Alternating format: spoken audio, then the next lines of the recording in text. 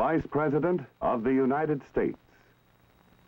I have just been looking over some of the sketches made in Vietnam for the motion picture that you're about to see. These are wonderfully strong pictures. They capture the spirit of the people of that country. Now, just take a look at this one. Throughout Vietnam, you see strong faces like this, determined and patient. The story, the hope, and the determination of these brave people of South Vietnam and what they're doing to build on their hopes has not been told as often as has the story of war in their ravaged land. But it's just as true. Here are some others.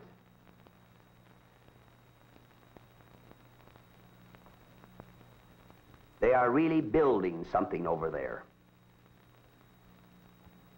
They are building the foundations of a society in which they and their children can live in peace and freedom. And they are doing this in the midst of an ugly war forced on them by aggressors who want to control them. They are doing it with their muscle and their hearts, but they're doing it at the ballot box too. In hundreds of hamlets across the land, they are demonstrating their faith, faith in themselves and in their future. They're also proving their faith in us because we have taken our stand beside them. No one who really knows what these determined people are doing can doubt the rightness of their cause, nor can they doubt the rightness of our help. For we are making possible the conditions under which they can build their nation. Their effort to build that nation is a story that needs to be told. It is a story of men who prize freedom, and it is a story honoring men who put their lives on the line for freedom.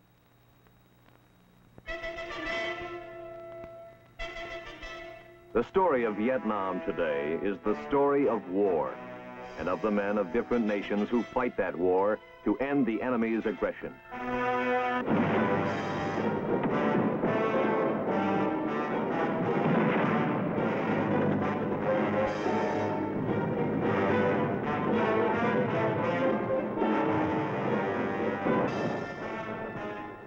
Is the story of war's effect on the people who live in this troubled land.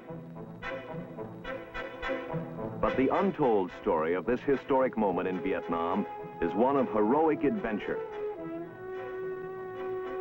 It is a revolutionary undertaking by the people of the Republic of Vietnam to transform their national life and construct out of the chaotic legacy of the past a social order that will work for the betterment of all.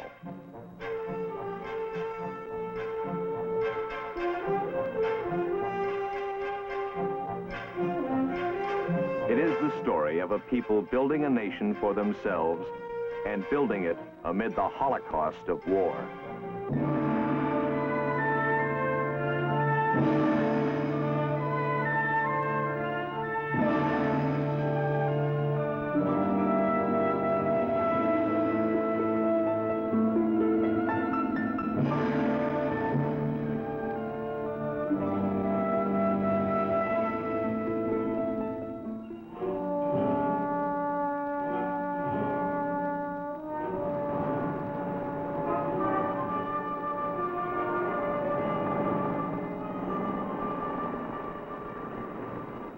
Generation ago, not many Americans could have said with certainty where or what Saigon was.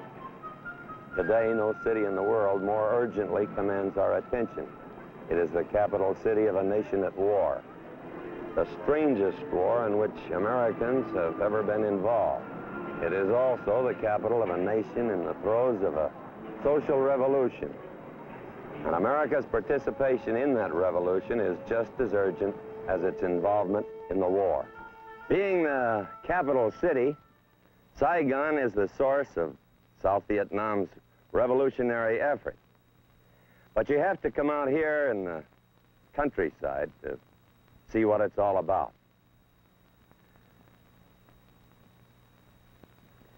The Defense Department has asked me to help bring you this story of Vietnam's attempt to build itself into a nation.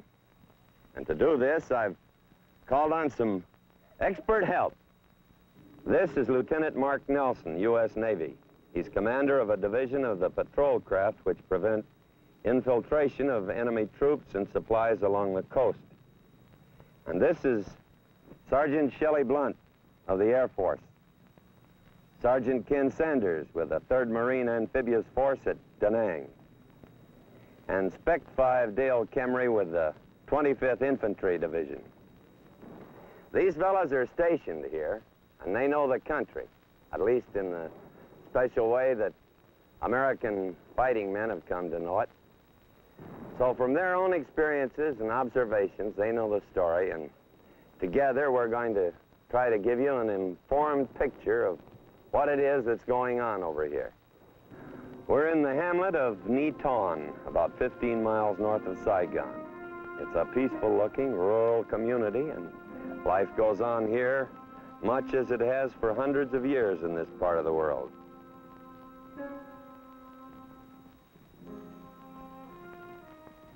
There's an operation going on a mile or two from here, and the peace and quiet of this little village is shattered by the sounds of war. The drones of helicopters overhead, and every once in a while, this rumble of artillery. That's one thing you learn after you've been here in Vietnam for a while. The war is never very far away. These hamlets and villages are the real soul of the country. Four-fifths of the people of South Vietnam live in them. And it is here, in these dusty trails through the countryside, these thatched huts and farmland and jungle, that the thrust of South Vietnam's great social revolution is directed. In Vietnam, revolution is a double-edged word. The enemy uses it. It's, it's what they call the aggressive war they're using against the people over here. That's the story. And there's nothing mysterious about the kind of revolution the enemy has in mind. It's the same thing we've seen in many parts of the world ever since the communist revolution 50 years ago. Murder, assassination, terror. And over here, they've killed over 20,000 civilian leaders.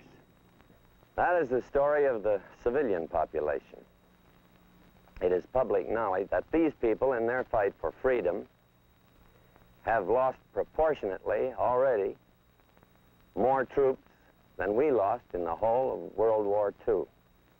And yet, in spite of this, there have always been men brave enough in this country to step forward and take the leadership from those who have been killed. And it's these same brave people who have had the will and the guts to conduct their own revolution, a real revolution for the betterment of their people. At the same time, they've been fighting a war for their very survival. What the government of Vietnam is launching is a national effort to eliminate and defeat a pattern of social misery which has plagued the people of Vietnam for generations. They intend to replace it with a society in which the needs of the people can be met. Now, they call it revolution, and it certainly is.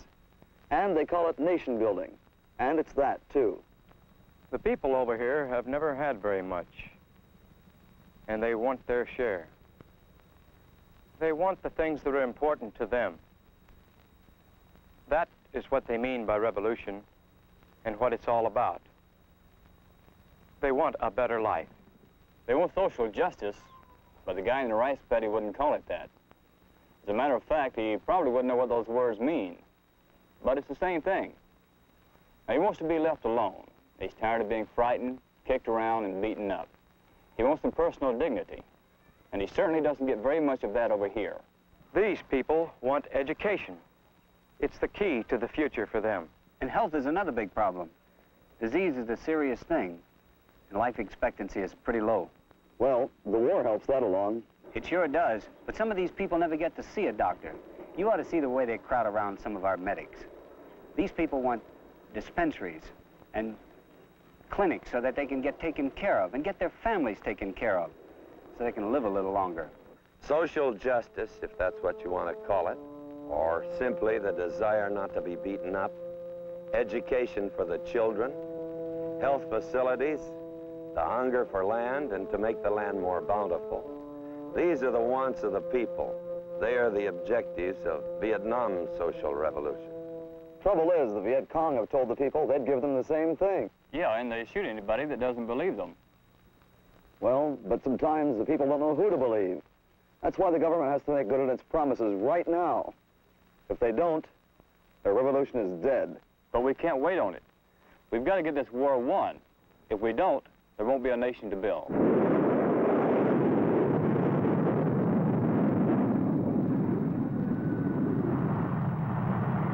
Yes, we in the South Vietnamese must win this war. The social revolution cannot be successful unless the people feel secure and safe from communist aggression.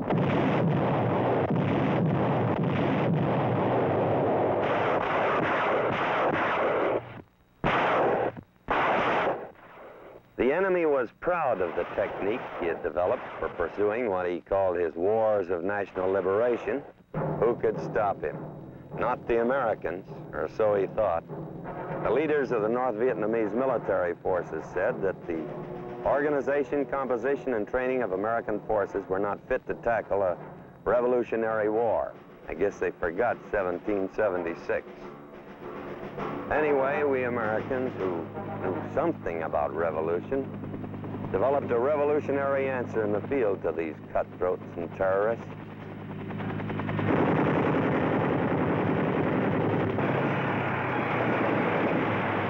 The myth of Viet Cong invincibility is dead.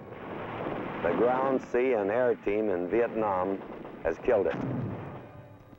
America decided a long time ago, in principle, to take its stand in Vietnam. It laid the foundations for that decision when it recognized that aggression against the weak could never be permitted to succeed if freedom was to survive. Fighting men in Vietnam are the inheritors of that decision, and now they are its agents.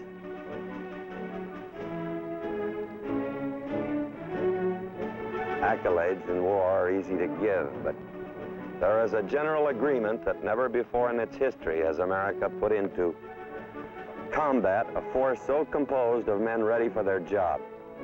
They serve the cause of freedom well. They're fighting men and not philosophers, so they don't talk much about freedom, but they know their job and they know how it figures in Vietnam's effort to build a nation. We've got to get this war won. If we don't, there won't be any nation to build. The final outcome of the Vietnam story will not be determined in the cities or even in the places of open conflict with the enemy, but out here in these small clusters of rice farmers and fishermen. That captain over there is Peter Dawkins. Just a few years ago, he was making All-American at West Point.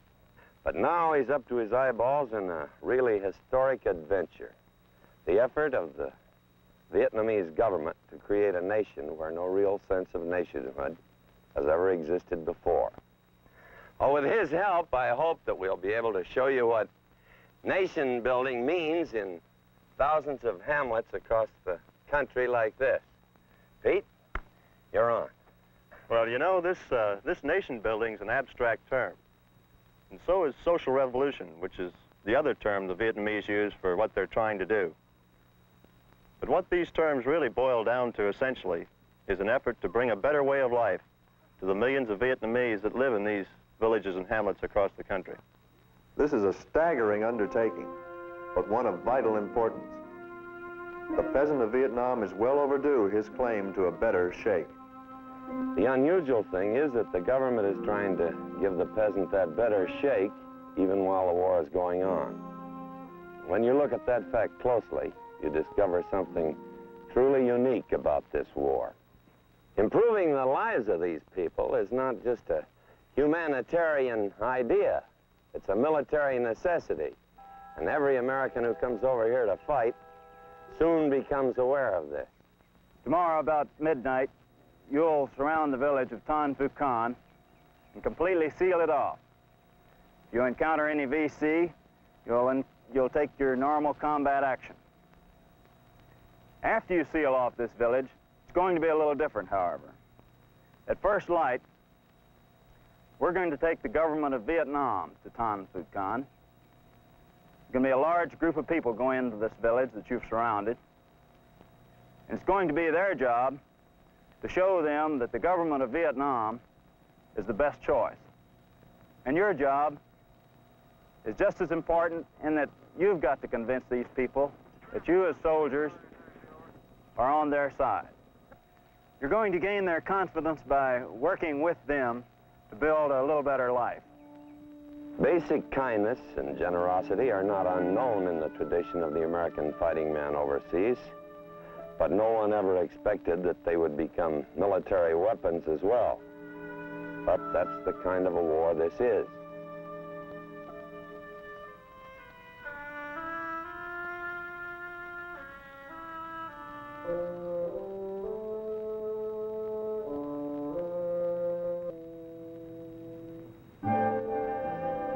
Non-military assistance is also a major part of America's contribution to Vietnam's struggle, and has been from the beginning. My name is Mike Rolla. I'm with the United States Agency for International Development here in Vietnam. I've been here about three years now, working in the province of Gia Dinh. My work has involved almost everything that is non-military, from the building of schools, maternity dispensaries, roads and bridges. Basically what we've been trying to do, though, is work with the people and help them as much as they can to realize their aims and, and their wishes. Basically, what we're trying to do is help the government of Vietnam respond to these needs and these wishes, helping the government respond to the needs of the people. The U.S. is not alone either in the contributions it is making. This is one of a number of social centers used also as schools during the day, which the West Germans have set up in the crowded and poor districts of Saigon. An Iranian surgical team provides badly needed hospital services in one of the districts.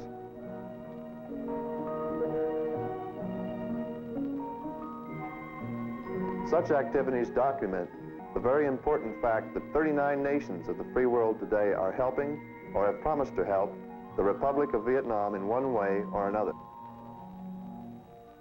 All of this is enormously important and helpful to the common cause. But these activities can only be considered as the initial steps to help get the process started. No matter how successful our troops or our AID representatives are in winning the support of the people, in the end, that job can only be done by the Vietnamese themselves. As good friends and allies, we can help strengthen the ties of the people to their government. But only that. We can only help. The Vietnamese know this, and they're doing something about it. As a matter of fact, what they're doing constitutes the heart and soul of their effort toward building a nation. This is a training center at Vung Tau, a very special training center. It's for the training of what the Vietnamese call revolutionary development cadres.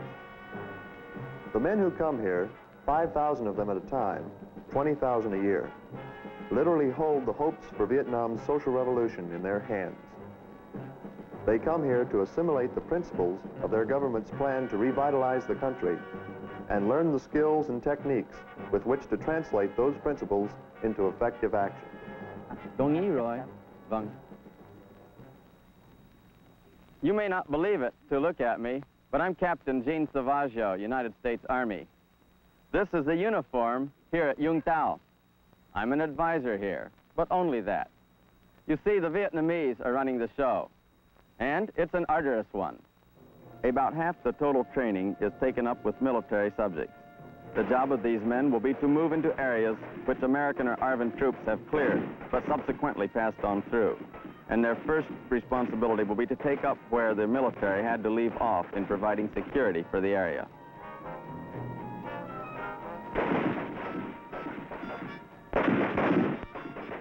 They are the sons of farmers and fishermen and have lived all their lives close to the soil. They don't need much instruction in how to harvest a rice crop or bring in a catch. But techniques for improving the crop and the catch are important parts of the curriculum. Someday, a village's loyalty might turn on just such instruction. They become well schooled in the causes and progress of the war, probably as much as any national spokesman. And one fact is drilled into them constantly, the necessity of reaching the hearts and minds of the people among whom they will be working. When their training is completed at the end of 13 weeks, they are formed into cadre groups to take their revolution, the social revolution, to the countryside.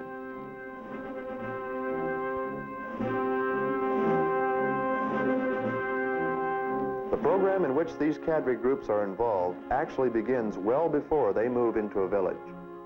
First of all, regular forces, either ours or South Vietnamese, sweep through the area to clear it. Destroy, capture, or chase out any Viet Cong or main force enemy units. Then regional forces, companies of troops employed within a province, and popular forces, platoons and squads within a district, secure the area with their patrols and small-sized operations. Then the cadre groups move in, dressed in the black pajamas of the peasant, trained to look at the world as the peasant sees it, but also as the soldier must. This black pajama uniform is very important. Because it is the traditional garb of the peasant, it's easier for the peasant to identify himself with the cadre groups. It complicates our problems of identification, of course, for the Viet Cong wear the same uniform. The cadres work with the people to gain their trust. This is made considerably easier by their being assigned to the districts they grew up in, among the people who know them.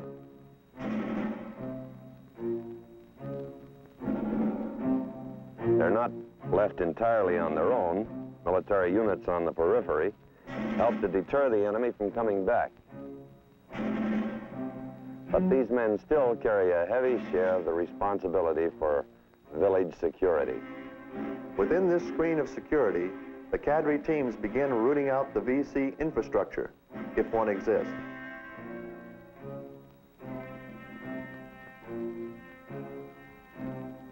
Chúng tôi đã được kế hân hạnh đến đây để tiếp At the same time, the spade work of the social revolution begins, with a full explanation to the people of just what the cadres are in the village for and what they hope to accomplish. This is not always an easy step.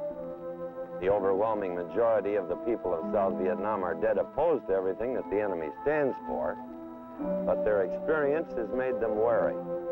Too often they've watched the VC murder anyone who has cooperated with the government. They have to be persuaded that this won't happen again. It's the job of the cadres to do that persuading, and also to persuade the villagers that their welfare is actually of deep concern to their emerging nation. One team starts out right away to find out what the people's particular problems are, what is needed the most to improve life in the village.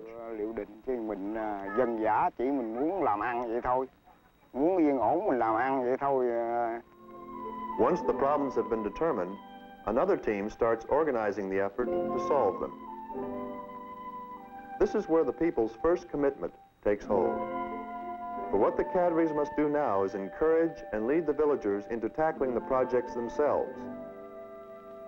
The team will find the necessary materials and supplies to be used, often from U.S. sources. But the people have to contribute their labors and energies. As their work progresses, the cadres encourage and supervise the election of community leaders. When a village gripped with fear or mired in apathy awakens to a sense of its own importance and feels the stirrings of faith in itself and in the far-off government which is demonstrating its compassion and concern, when the people of a community begin to take their destiny in their hands, that is the transformation of social revolution. And it is precisely this which the Revolutionary Development cadres are endeavoring to bring to the villages of Vietnam. They stay in the village for several months, sometimes a year. When their job is through, if they've done it well, they will leave behind them a community of people who now are able to believe in their future, who are determined to work for it, to share in the defense of it. One of the final missions of a cadre group is to train a self-defense force from among the able-bodied villagers, a force prepared to help meet any attack by the enemy. When this happens, the people's commitment is complete.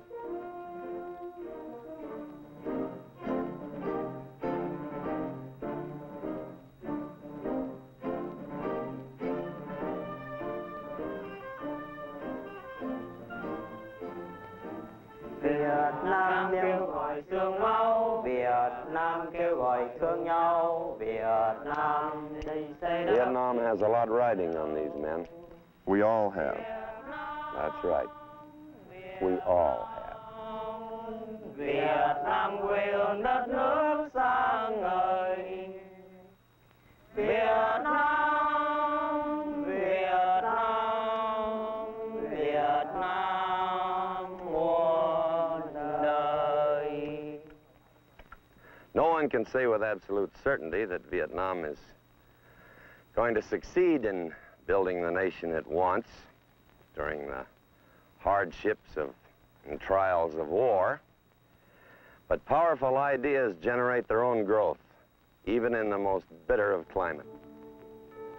One of these is the belief in individual man's dignity and his right to determine his own course.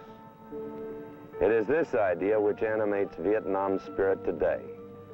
It is an idea with which we Americans are familiar. It is to honor our commitment to this idea that we take our stand and will hold our stand in this troubled land of a worthy and brave ally.